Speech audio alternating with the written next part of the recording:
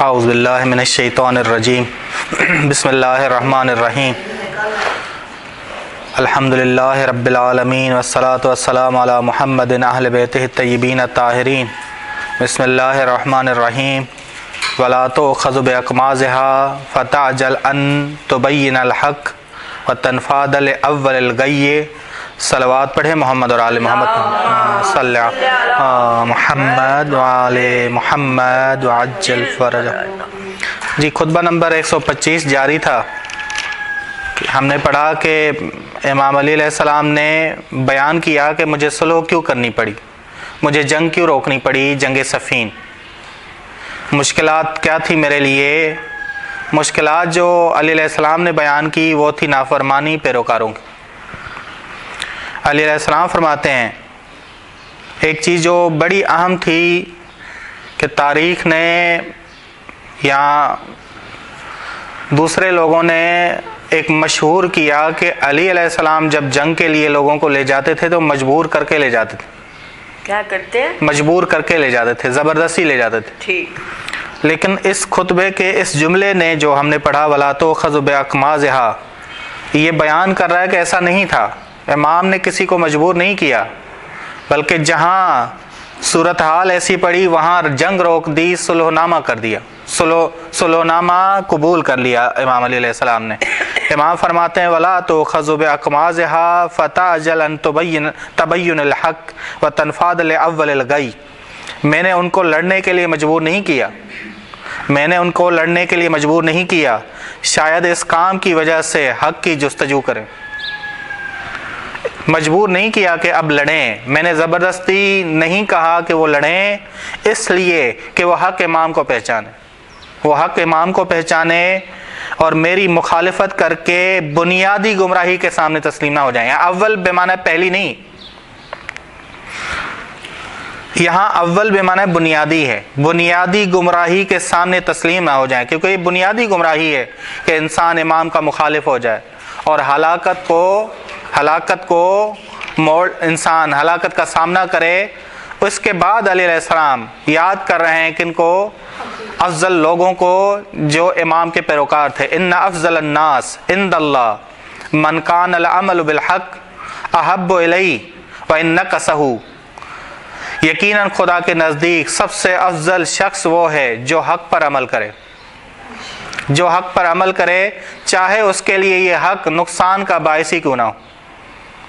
چاہے یہ حق ان کے اس کے لیے نقصان کا باعث ہی کیوں نہ ہو اور باطل کی طرف رخ نہیں کرتا۔ باطل کی طرف رخ نہ کرے، چاہے اس سے فائدہ ہی کیوں نہ ہو۔ بس امام نے اپنے پیروکار، اپنے متی کا اور افضل ہونے کا خدا کے نزدیک ایک فارمولہ بتا دیا کہ خدا کے نزدیک سب سے افضل شخص وہ ہے جو حق پر عمل کرے، چاہے اس کے لیے نقصان کا باعث ہو۔ نقصان کا باعث ہی کیوں نہ ہو اور باطل کی طرف رخ نہیں کرے، چاہے اس سے فائدہ ہی کیوں نہ ہو۔ چاہے اسے فائدہ ہی کیوں نہ ہو۔ ٹھیک۔ و ان جر علیہ فائدۃ وزادہ فعین یتاہ بکم فعین یتاہ بکم اب تمہیں گمراہ کیا جا رہا ہے۔ فعین اور کہاں سے گمراہ کیا جا رہا ہے تمہیں یہ معلوم ہی نہیں۔ تم سمجھ رہے ہو کہ علی علیہ السلام مخالف قرآن ہے۔ علی علیہ السلام مخالف قرآن ہے۔ حالانکہ ایسا نہیں، تمہیں گمراہ کرنے کی وجہ پہلے معلوم معلوم ہونی چاہیے کہ قرآن کو نیزوں پہ بلند کیا گیا جنگ صفین میں۔ اور جنگ جمل میں کس کو میرے سامنے لا کے کھڑا کر دیا گیا کہ تم شش و پنج میں گرفتار ہو گئے، کہ کریں کیا ہم؟ ٹھیک علی علیہ السلام اسی کی طرف اشارہ کر رہے ہیں، تمہیں معلوم ہونا چاہیے کہ کہاں سے تم گمراہ ہو رہے وہ من آئی نہ اتی تم کس طرح تمہیں شیطان راہ گمراہی پہ لایا ہے، میری مخالفت پہ لایا ہے۔ جو بنیادی گمراہی ہے، جو اول گمراہی ہے، اس پہ شیطان لایا کیسے لایا ہے شبہ ڈال کے۔ قرآن کو نیزوں پہ بلند کر کے یا کسی شخصیات کا استعمال کر کے۔ ٹھیک؟ شخصیات کا استعمال جنگ جمل میں کیا گیا کہ جنگ جمل میں علیہ السلام پہ تانے یہ لگ رہے تھے کہ آج اے علی، آپ کے مقابلے میں وہ لوگ کھڑے ہیں جو سب سے پہلے آپ کی بیعت کر رہے تھے۔ اور جنگ صفین میں کوئی شخصیت نہیں ملی تو قرآن کو نیزوں پہ بلند کیا گیا۔ ٹھیک؟ استعدوا للمسیر الى قوم حیاری ان القوم لا یفسرونه موضعین بالجور لا يعدلون به جفات. ان الكتاب ونقب عن الطریق تم سب اس قوم کی، اس قوم کی بڑھنے کی طرف تیار ہو جاؤ، جو حق سے منہ مو موڑ کے بھٹک رہی ہے۔ تم اس، یہیں سے حق سے بھٹک رہے ہو۔ تم بھی اسی قوم کی طرح ہو۔ یعنی تم میں اور اس لشکر میں، سامنے والے لشکر میں کوئی فرق ہے؟ بالکل نہیں۔ تم سب اس قوم کی جیسے بڑھنے یا اس جیسے بننے کے لیے تیار ہو جاؤ جو حق سے منہ موڑ کر بھٹک رہی ہے۔ یہ لوگ کتاب خدا سے ہٹے ہوئے ہیں۔ یہ لوگ کتاب خدا سے ہٹے ہوئے ہیں اور راہ راست سے الگ ہیں۔ بس جو راہ راست سے الگ ہیں، ان جیسے تم بھی بن رہے ہو۔ ان جیسے تم بھی بن رہے ہو، ان جیسے تم بھی ہو رہے ہو۔ ماں ان تم بے وسیع کی ہی اولک بہا۔ اے خدا، تم خدا سے دعا ہے کہ تم سے میرا واسطہ نہ پڑے، تم سے میرا تعلق نہ ہو، کیونکہ تم کوئی مضبوط وسیلہ نہیں ہو جس پہ اعتماد کر کے میں جنگ کی طرف روانہ ہوں۔ نہ ہی باعزت ہو تاکہ تم سے وابستہ ہوا جائے۔ دو جملے امام نے فرمائے یہاں۔ اول یہ ماں ان تم بے وسیع کی ہی اولک بہا۔ دوم ولا زوافر ازن یا تسم بہا ہماری پہلے بات ہو چکی تھی، ان دو جملوں سے مراد کیا ہے؟ تمہارے اندر دینی اقدار نہیں ہے۔ اول، ما ان تم بے وسیع کی ہی اولک بہا اس سے مراد ہے تمہارے اندر دینی اقدار ہی نہیں ہے۔ دین کا درد تمہارے اندر ہے ہی نہیں۔ تو ہی تمہارے اندر ہے نہیں۔ تم امام کو پہچانتے ہو نہیں۔ دینی اعتبار سے تم قابل اعتماد نہیں۔ دوسرا جملہ، فلا ولا زوافر ازن نہ ہی انسانیت کے اعتبار سے تم لائق اعتماد۔ دونوں لحاظ سے، دینی لحاظ سے بھی نہیں لائق اعتماد، انسانی لحاظ سے بھی تم لائق اعتماد نہیں۔ عزت کوئی نہیں چاہتے تم، کیونکہ عزت انسانی اصول ہے۔ یہ نہیں کہ صرف دینی اصول ہے، ہر ہر انسان فطرتاً عزت چاہتا ہے۔ امام فرما رہے ہیں کہ انسانی اصولوں سے بھی پرے، انسانی اقدار سے بھی پرے اور اسلامی اقدار سے بھی پرے ہو ولا زوا عزن یو تسم بہا یو تسم تاکہ تم سے جڑا جائے۔ تو تمہارے ذریعے رسی بنائی جائے۔ لبے سہشاش نار الحرب ان تم اف لکم تم دشمن کے لیے، جنگ جنگ لڑنے کے لیے اہل نہیں ہو۔ تم تم پر مجھے بڑا افسوس۔ تم پر مجھے بہت زیادہ افسوس ہے۔ لبے سہشاشن کتنے برے ہو کہ تمہارے ذریعے کوئی جنگ کو بھڑکائے۔ کتنے برے تم ساتھی ہو۔ افن لکم، وائے ہو تم پہ۔ یعنی تم سے مل کے کوئی جنگ لڑنے کا اہل نہیں بنتا۔ یہ یہ یعنی درد امام علی علیہ السلام کہ موجود ہو بھی ساتھی اور ساتھی برائے نام۔ ساتھی برائے نام تھے۔ اہل ہی نہیں، تم تم پر مجھے افسوس ہے کتنی میں نے تم سب سے تکلیفیں اٹھائیں۔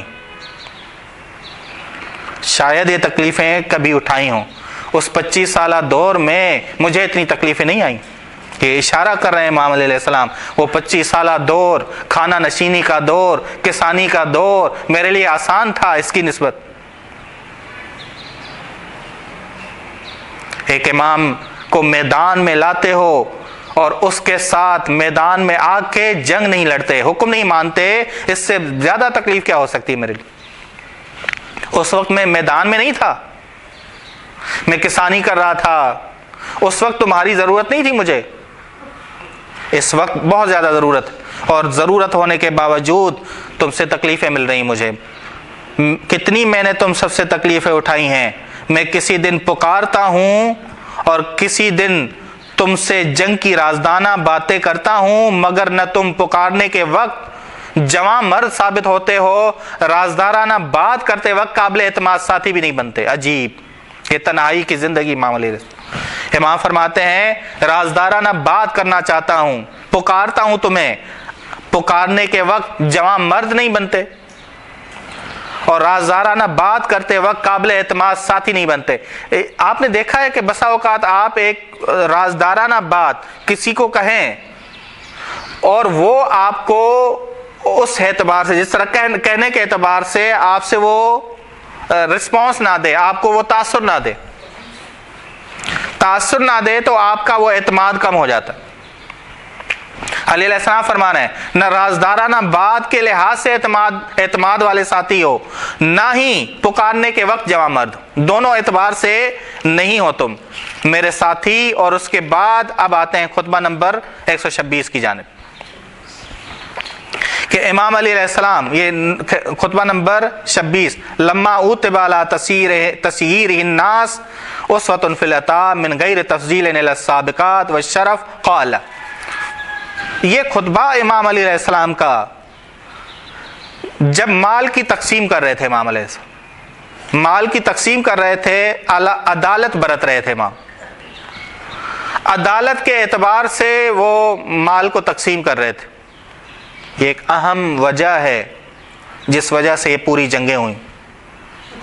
مخالفت ہوئی مالی عدالت، اقتصادی عدالت۔ جب مال کی تقسیم میں عدالت برتنے لگے امام اس عدالت کے اصولوں پہ مال تقسیم کرنے لگے۔ بعض لوگ بھڑک اٹھے۔ اس میں بنو امیہ بھی تھا۔ بنو امیہ کا ولی جیسے لوگ اور ادھر سے طلحہ اور زبیر جیسے لوگ۔ بڑک بھڑک اٹھے اور کہا، ہمیں فضیلت کی بنا پہ تقسیم کیا جائے۔ جس کی جو فضیلت ہو، مہاجرین کو، سابقین کو زیادہ دیا جائے، باقیوں کو کم دیا جائے۔ یعنی جو تقسیم انہوں نے بنو امیہ چاہ رہے تھے کہ خلیفہ سوم کے زمانے میں جو ہم نے تقسیم دیکھی، وہ تقسیم کی جائے ہمارے ساتھ۔ باقی خلفۂ دوم کی تقسیم کو چاہ رہے تھے کہ خلفۂ دوم، جیسے طلحہ اور زبیر چاہ رہے تھے کہ خلیفہ دوم نے جو تقسیم کی ہے، اسی اعتبار سے ہمیں دیا جائے۔ بس اس اس لحاظ سے وہ چاہ رہے تھے کہ تقسیم کیا جائے۔ ہر ایک اپنی فرمائش لے کے آ رہا تھا۔ ولید نے یہ کہا کہ اگر آپ تقسیم خلیفہ سوم کے اعتبار سے کریں گے تو ہم اپنے وہ جو آپ نے قتل کیے ہیں ہمارے بڑے جنگوں میں ان کو بھول جائیں گے ہم۔ اور یہاں سے کہا طلحہ اور زبیر نے کہ اگر خلیفہ دوم والی تقسیم آپ کریں گے تو ہم آپ کے گہرے ساتھی بن جائیں۔ یعنی آپ اندازہ لگائیں کہ جنگ جمل کی صورتحال ایک وجہ یہ ہے جنگ جمل۔ تقسیم مال مال غنیمت۔ بیت المال کا مال۔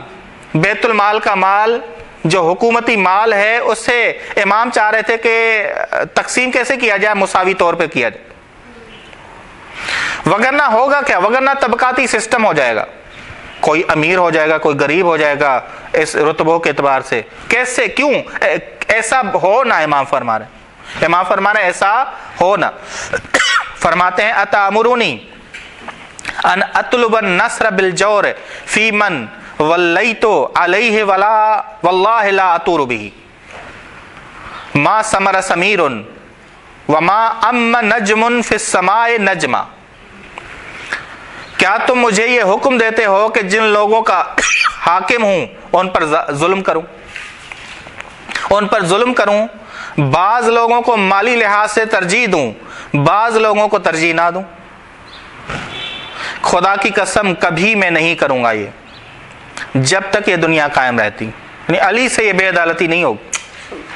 علی علیہ السلام سے یہ بے عدالتی نہیں ہوگی جب تک یہ دنیا قائم رہتی ہے، اگر یہ مال میرا بھی ہوتا۔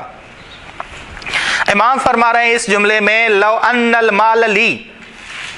لو ان المال لی لسوئی تو بینہم۔ اگر یہ مال بیت المال نہ ہوتا، حکومت کا مال نہ ہوتا، میرا مال ہوتا، تب بھی میں مساوی تقسیم کرتا۔ تب بھی انصاف ہاں تب بھی انصاف کرتا۔ لو ان المال لی لسوئی تو بینہم۔ تب بھی میں برابری کرتا، عدالت عدالت سے کام۔ ذہن میں رکھیے گا، یہاں مال تقسیم کرنے کے لحاظ سے حاکم جو دے جیسے سبسڈی ہے، وہ ایسا نہ ہو کہ بعض لوگوں کو دی جائے، بعض لوگوں کو نہ دی جائے۔ ہو تو پوری عوام کے لیے اس لحاظ سے تقسیم برابر ہونی چاہیے۔ برابر ہونی چاہیے تاکہ طبقاتی سسٹم نہ بنے۔ اسلام سخت مخالف ہے طبقاتی سسٹم۔ یہ سود جو، سود کا جو اہم حرام ہونے کی وجہ یہ ہے کہ طبقاتی سسٹم نہ بنے۔ ایک بڑھتا جائے گا مالی اعتبار سے، ایک پستا جائے گا مالی اعتبار سے۔ ٹھیک ہے نا؟ جو سود دیتا جائے گا، وہ پستا جائے گا، وہ غریب ہوتا جائے گا۔ اور ایک جو سود لینے والا ہے، وہ ترقی کرتا جائے گا۔ ٹھیک؟ بس علی علیہ السلام چاہ کیا رہے ہیں؟ علی علیہ السلام کہہ رہے ہیں کہ خدا کی قسم اگر یہ مال میرا ہوتا تب بھی میں مساوی تقسیم کرتا کیسے ممکن ہے؟ میں خدا کے مال کو ظالمانہ طور پہ تقسیم صدقے۔ کیسے ممکن ہے کہ میں خدا کے مال کو ظالمانہ طور پہ تقسیم کروں اور اقربا پروری کو مد نظر رکھوں؟ اشارہ کر رہے ہیں خلیفہ سوم کی طرف۔ اقربا پروری کو مد نظر رکھوں آگاہ رہو غیر حقدار کو زیادہ مال دینا بے اعتدالی اور فضول خرچی ہے۔ کیا کہہ رہے ہیں امام؟ اللہ و ان اعطاء المال فی غیر حق ہی تبذیر و اسراف۔ تبذیر، بے اعتدالی، اسراف، فضول خرچی۔ تبذیر و اسراف۔ وَهُوَ يَرْفَعُ صَاحِبُهُ فِي الدُّنْيَا وَيَزَعُ فِي الْآخِرَةِ ممکن ہے دنیا میں واہ واہ ہو۔ ممکن ہے دنیا میں ووٹ لے وہ۔ جلسوں میں بہت سارے لوگ آئیں لیکن آخرت میں وہ پست۔ کچھ بھی نہ۔ بس مد نظر علی کے کون ہیں؟ آخرت۔ مد نظر آخرت۔ کل ہم نے کہا تھا نا کہ جناب زہرا کا مد نظر کیا ہے کہ کونی سی چادر لے کے نکلتی ہیں جناب سلمان نے کہا کہ رسول خدا کی بیٹی ہیں۔ کونی سی چادر ہے۔ کہا مجھے فکر ہے آخرت کی۔ ہم کفو کی آپ جب بھی باتیں سنیں تو ملاتے بھی جائیں کہ ہم کفو دیکھیں۔ ٹھیک؟ لیکن آخرت آخرت میں پست ہو جاتا ہے وہ شخص۔ دنیا میں واہ واہ، دنیا میں لشکر ہو شاید ساتھ اس کے، لیکن آخرت میں وہ اکیلا ہو۔ آخرت میں کیا ہوگا؟ لا اتور جو لفظ آیا، لا اتور سے مراد ہے کبھی میں حکم نہیں دوں گا۔ ناممکن ہے کہ علی یہ حکم دے۔ یہ لا اتور واللہ لا اتور بھی لا حکم اس لیے نہیں کہا۔ لا اتور میں زیادہ تاکید پائی جاتی ہے کہ علی سوچ نہیں سکتا اس کے بارے میں۔ حکم کرنے کی بات ہے کہ علی سوچ نہیں سکتا اس کے اس کے حوالے سے۔ تبھی علی علیہ السلام نے لا اتور کا لفظ استعمال کیا۔ ما سمیر ان سے مراد ہے زمانہ کا، زمانے کا گزرنا۔ یہ جو لفظ آیا، ما سمر سمیر اور ام سے مراد ہے قصد کرنا، ارادہ کرنا۔ یہ جو لفظ آیا ام ام نجم من نجم فی السماء نجمہ، یہاں ام سے مراد ہے ارادہ کرنا، قصد کرنا۔ وَيُكْرِمُهُ فِي النَّاسِ وَيُهِينُهُ عِنْدَ اللَّهِ ایک سا شخص جو بے غیر عدالتی سے کام لے، لوگوں میں کرامت والا ہو جاتا ہے، لیکن خدا کے نزدیک ذلیل ہو جاتا ہے۔ ذلیل اور رسوا ہے، بس خدا کے نزدیک علی ذلیل اور رسوا نہیں ہونا چاہتا۔ وَلَمْ يَزَائِ اِمْرَعُن مَالَهُ فِي غَيْرِ حَقِّهِ وَإِنْدَ غَيْرِ أَهْلِهِ۔ جو شخص بھی مال کو نا اہل افراد کو دے، غیر حقدار کو دے، خدا اسے ان کے شکریہ سے محروم رکھے گا۔ یہ اہم چیز کب؟ اور ان کی دوستی اور محبت اس کے حصے میں نہیں آئے گی۔ یہ کب؟ اب میں بتاتا ہوں۔ علیہ السلام فرماتے ہیں، اگر کسی دن اس کے پاؤں پھسل جائیں، فقر و تنگ دستی اس کے ہاں آ جائے، تو ہوگا کیا؟ جو خوشامدی ٹولہ ہوگا، وہ اس کا ساتھ نہیں دے گا۔ خوشامدی ٹولہ اس اس کا ساتھی نہیں بنے گا۔ ممکن ہے آج وہ غیر عدالتی سے کام لے رہا ہے، لیکن جب وہ خود محتاج ہوگا، تو اس وقت یہ کام نہیں آئیں گے اس وقت یہ کام نہیں آئیں گے۔ محتاج ہو محتاج محتاجی کے وقت یہ لوگ برے ساتھی بنے گے برے ساتھی بنیں گے کمینے دوست ثابت ہوں۔ فحتاج الا معونتہم فشر و خلیل شر و خلیل برے ساتھی، برے دوست۔ والام خدین یعنی کمینے دوست۔ کمینے دوست بن جائیں گے۔ بس یہ پچیس سال کے دور کے بعد۔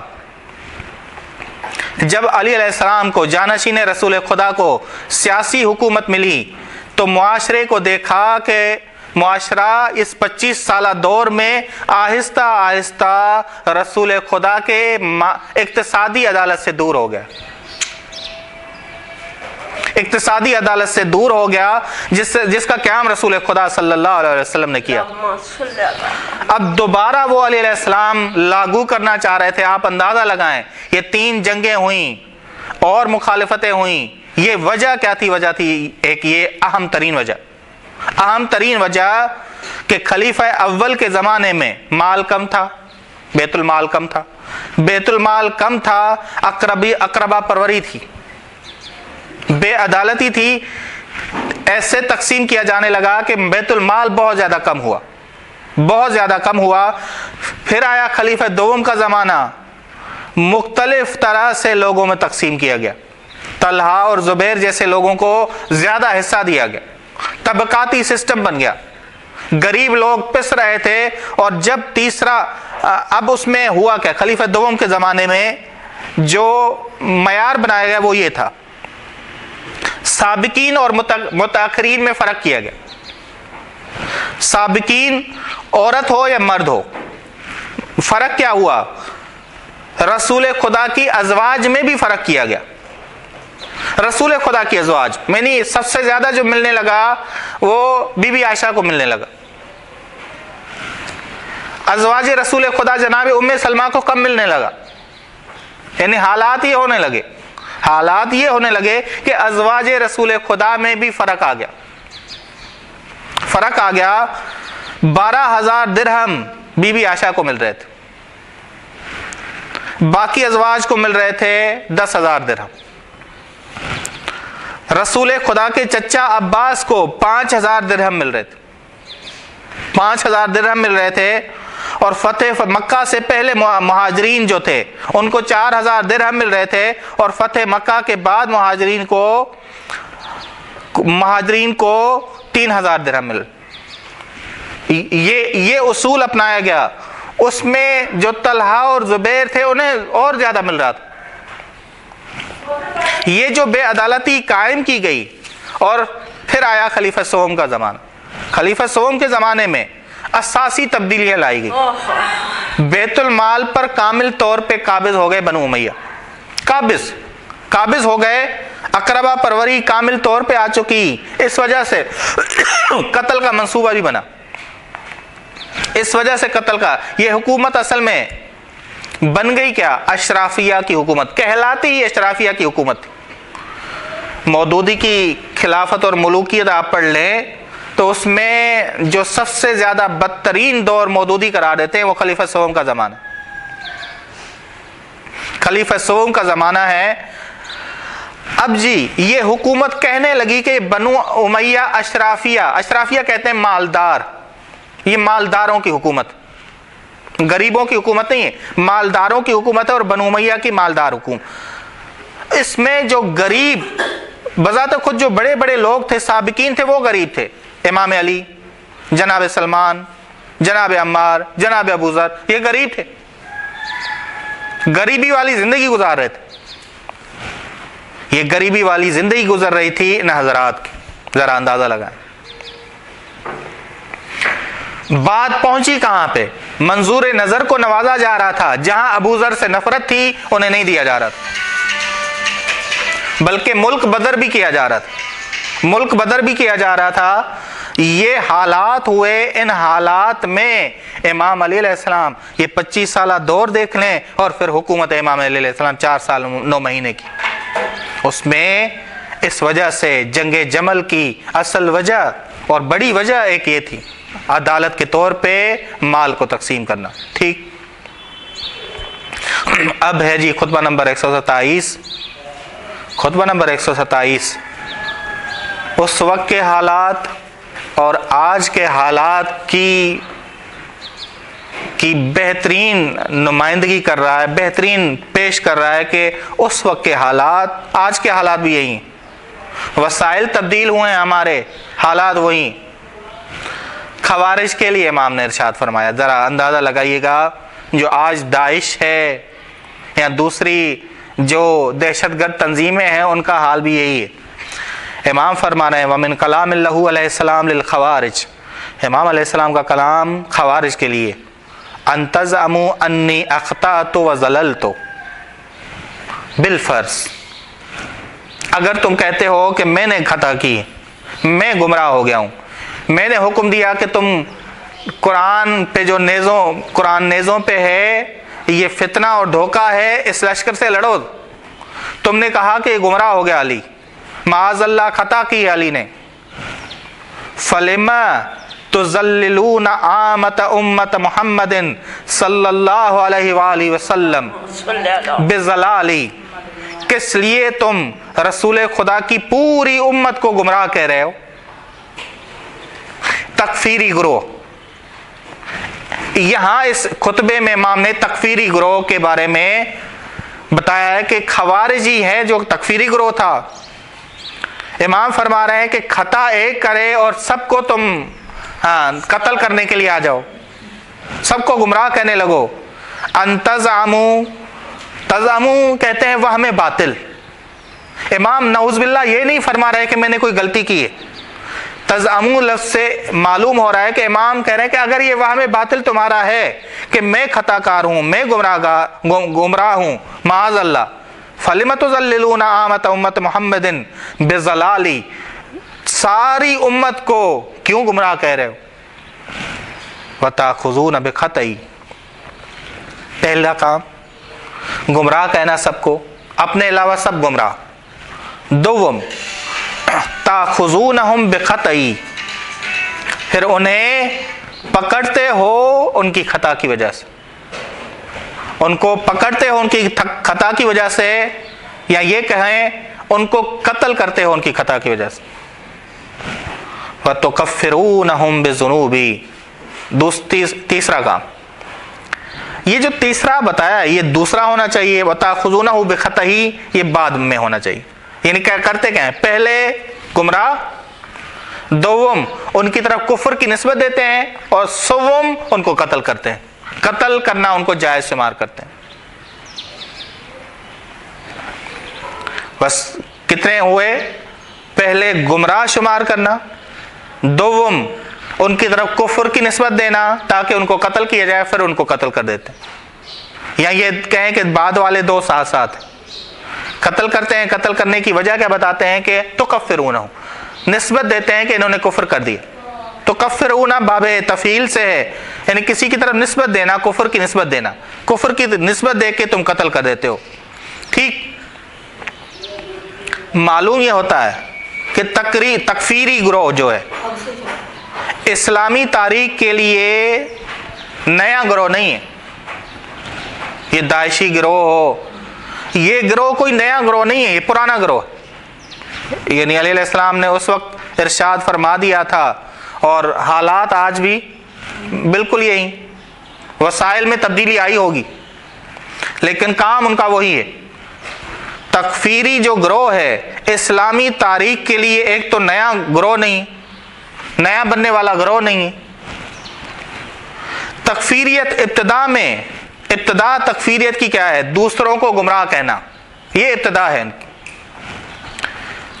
اس کے بعد قتل کرنا یہ الزام لگا کے کہ یہ کافر ہے۔ یہ کافر ہو گیا۔ پہلی وجہ کیا ہے؟ ہاں جی پہلی وجہ ہے کہ ان کو گمراہ کہنا دوسری وجہ ہے کہ ان کو کافر کہنا کافر کہہ کے ان کو قتل کر دینا۔ یہ تین وجوہ۔ بس علی علیہ السلام نے پہلے قتل کرنا اس لیے کہا ہے کہ ہدف ان کا قتل کرنا ہے اس وجہ سے وہ تومت لگاتے ہیں کہ کافر ہو گئے۔ ٹھیک۔ بس تکفیریت کرتے ہیں پھر قتل کرتے ہیں۔ تکفیریوں میں یہ صرف پائی جاتی ہے کہ وہ اہل اسلام کو قتل کرتے ہیں۔ یہ ذہن میں رکھیے گا۔ اہل اسلام؟ اہل اسلام کو قتل کرتے ہیں۔ ان کی جنگ کن سے ہے؟ اس مسلمانوں سے۔ مسلمانوں سے وہ لڑیں گے۔ مسلمانوں کے علاقوں میں وہ نامنی پھیلائیں گے۔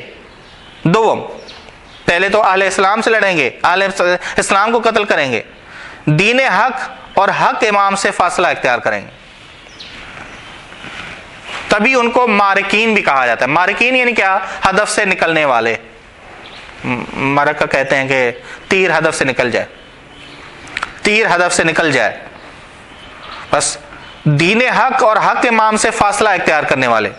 دو وجہ ہیں ان میں۔ دو صفات ان کے اندر عمومی پائی جاتی ہیں۔ وہ یہ ہے، اہل اسلام کو قتل کریں گے، حق امام سے دور ہوں گے۔ حق امام سے فاصلہ اختیار کریں گے یہ دو ہیں۔ فرما رہے ہیں امام علیہ السلام، سیوفکم علا اوانککم تزعونہو تم سب نے تلواریں اپنے کندھوں پہ رکھی ہوئی ہیں اور ہر جگہ بے موقع حملہ کرتے جاتے ہو۔ یہی ہر جگہ بے موقع حملہ کرتے جاتے ہو۔ بے موقع۔ تزعونہا مواز البراء والسقم۔ بے موقع ہر جگہ حملہ کرتے جاتے ہو، ہر ایک کو قتل کرتے جاتے ہو۔ یہی حال امام علیہ السلام کے دور میں ہوا۔ خوارج ایک جگہ پہ نہیں لڑ رہے تھے۔ خوارج مختلف علاقوں میں جا رہے تھے۔ جس علاقے میں جا رہے تھے، جو علاقہ سمجھ رہے تھے کہ اس علاقے میں علی کی مذمت نہیں کی جا رہی، قتل کر دو جی۔ علی علیہ السلام کے چاہنے والے ہیں، ان کو قتل کر دو۔ سیوفکم علا اوانککم اب سیوفکم نہیں ہے، اب تو دوسرے ہتھیار ہیں جو ان کے کندھوں پہ ہوں گے۔ سیوفکم کو آپ مد نظر رکھیے گا۔ اس وقت تلوار، اس وقت بندوقیں جو بھی ہو، جو آج کے ہتھیار ہیں۔ سیوفکم، تمہاری تلواریں یا تمہارے ہتھیار، تمہاری گردنوں، تمہارے کندھوں پہ ہیں، مراد ہے ہر وقت تیار۔ ہر وقت تیار تزعونہا مواز البراء والسقم۔ ہر جگہ بے موقع اتر جاتے ہو حملہ کر لیتے ہو۔ بے موقع اترنا مواز البراء والسقم۔ جو تمہیں پسند نہ آئے جس سے شخصی ناپسندی کی وجہ سے تم انہیں کفر کا کفر کا نا کفر کا فتویٰ دیتے ہو اور قتل کر دیتے ہو۔ اپنی پسند ہے۔ ہاں جی۔ تخلطون من اذنب بمن لم یذنب۔ تم خطا کاروں کو اور بے خطاؤں کو ملا کے سب کو قتل کا فتویٰ دیتے ہو۔ قتل عام۔ یہ آپ دیکھیں گے کتنی ویڈیوز بنی انہوں نے جو سر کاٹے سر کاٹے، قید میں رکھے۔ یا عورتوں کو جو، یہ قیدی بنا کے ان کو خریدنے لگے۔ بازار ایک سجایا، ایک ویڈیو آئی، اس میں بازار سج گیا، عورتوں کو قیدی بنایا، ان کو خریدنے لگے۔ یعنی عجیب سا سلوک، مردوں کے ساتھ بھی، ان کی عورتوں کے ساتھ بھی، ان کے بچوں کے ساتھ بھی۔ بچوں کو ایک فکر دینے لگے کہ تم بڑے ہو کر تم نے ہمارے جیسا بننا ہے۔ ان میں ایک فکر آنے لگی، چاہے وہ اہل اسلام سے تعلق ہو، اہل سنت ہو یا اہل تشیع ہو، دونوں دونوں سے یہ کام کرنے لگے۔ ٹھیک؟ سیوفکم علی اوانککم تزعونہا مواز البراء والسقم یہ جملہ اور تخلطون من اذنب ممن لا لم یذنب. آج بھی آپ کو دہرائے گا یہ یعنی امام علیہ السلام نے یہ جملے جو ارشاد فرمائے صرف اس وقت کے لیے نہیں، ہتھیار، وسائل ہمارے بدل گئے ہیں وگرنہ آج کی باتیں ہو رہی ہیں۔